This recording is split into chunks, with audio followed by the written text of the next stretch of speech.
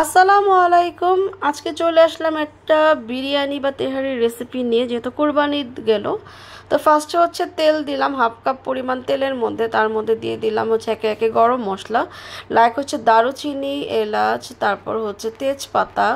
তারপর হচ্ছে শাহি জিরা অল্প পরিমাণে।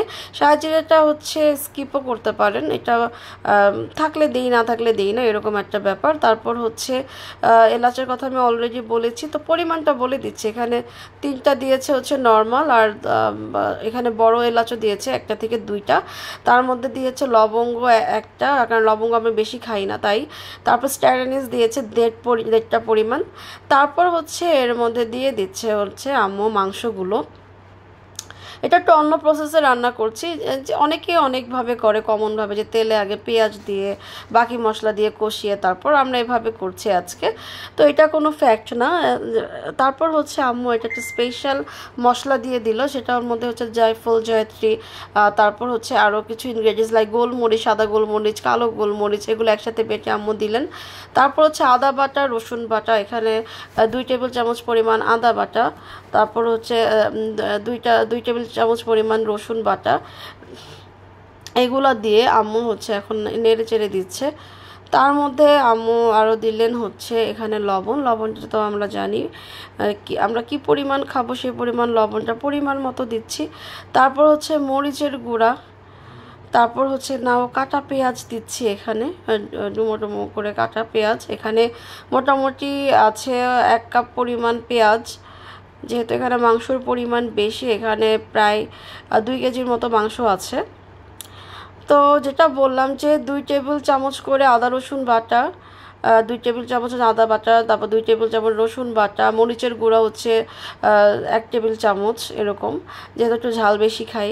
তো পরিমাণ হচ্ছে আমি এভাবেই বলছি, কারণ এটা কোনো ধরা বাঁধা করে বানানো হয় নাই। তারপর হচ্ছে আম্মু এখানে বাদাম বাটা দিয়ে দিলে, এখানে প্রায় পনেরো ষোলোটা বাদাম আম্মু বেটে তারপর একসাথে দিয়েছে। তারপর ভালো মতো আবার মিক্স করতে হবে। অ্যান্ড আমরা কিন্তু আরেকটা ইম্পর্টেন্ট কথা বলছি এখানে, কিন্তু তেল চর্বি সহ আমরা মাংসটা ইউজ করছি। এতে কিন্তু আমার যেটা, আমাদের যেটা ভালো লাগে যে একটু তেল চর্বি সহ, বিশেষ করে কুরবানির মানে বিফটা বেশ ভালো রান্না হয়, আর বিরিয়ানিটা খেতে খুব বেশি ভালো লাগে। এখানে সাদা যেটা দিয়ে দিলাম, এটা হচ্ছে টক দই। টক দইটা দিলে আপনার হচ্ছে একটা আলাদা টেস্টও আসে প্লাস হচ্ছে কালারটা ভালো হয়। প্লাস হচ্ছে যেটা যে মাংসটা সেদ্ধ তাড়াতাড়ি হয় এরই মধ্যে মাংসতে মোটামুটি নিজে নিজেই পানি চলে আসছে। আর যদি প্রয়োজন মতো পানি লাগে সেটা আপনারা দিয়ে নেবেন, না লাগলে দেবেন না, কারণ এটা মাংসের উপরে ডিপেন্ড করে। আর আম্মু কিন্তু এর মধ্যে অলরেডি আলু দিয়ে দিয়েছে, কারণ আজকে হচ্ছে আম্মু আলু ভেজে নেয় নেয় আলাদা, একদম ডিরেক্টলি দিয়ে দিয়েছে। তো মাংসটা অলরেডি কুকড এখন হচ্ছে আমরা গরম তেলের মধ্যে দারচিনি, এলাচ তারপর তেজপাতা ফোড়ন দিয়ে তারপর হচ্ছে আমরা পোলার চালটা ধুয়ে রেখে ছেঁকে রেখেছিলাম। সেটা হচ্ছে ড্রাইড চালটা পরে দেয়া হয়। দেওয়ার পর হচ্ছে ভাজা হচ্ছে এখন। ভাজার পর একে একে যা যা দরকার লাইক কাঁচামরিচ, তারপর হচ্ছে গুঁড়া দুধ, লবণ, এগুলো দিয়ে ভালো মতো করে আম্মু চালটা ভেজে নিচ্ছে। চাল ভাজা না হলে প্রপারলি কিন্তু মানে খেতে ভালো হয় না। তারপর হচ্ছে আম্মু গরম ফুটন্ত পানি দিয়ে দিচ্ছে পরিমাণ মতো। লাইক আপনি যদি দুই পট চাল নেন তাহলে কিন্তু চার পট পানি হবে।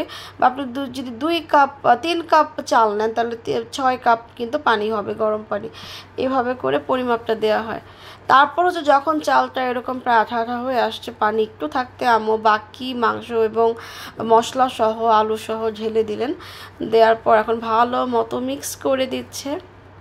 আমি একটু বেশি সময় ধরে জিনিসটা ভিডিও করেছি যাতে আপনারা বুঝতে পারেন।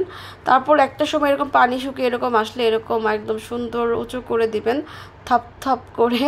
তারপর করার পর এটা হচ্ছে ঢেকে দিতে হবে। ঝেঁকে দেওয়ার পর অনেকটা সময় যাওয়ার পর অ্যান্ড আম্মু কিন্তু দমে দিয়েছে এটা হ্যাঁ?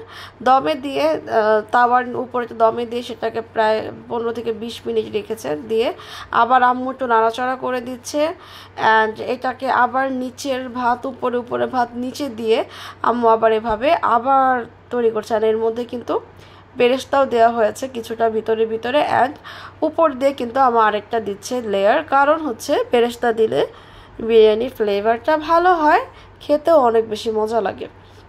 ফাইনালি রান্না শেষ। আমাদের খাওয়ার পালা তো অলরেডি আমরা খেয়েছি, আলহামদুলিল্লাহ অনেক অনেক বেশি মজা হয়েছে দেখেই বোঝা যাচ্ছে। তো আজকে এই পর্যন্তই, বাসায় ট্রাই করবেন, বিরিয়ানি কম বেশি সবাই রান্না করতে পারে, তারপর ওইভাবে একবার ট্রাই করে দেখেন। Thanks for watching my videos আল্লাহ হাফেজ।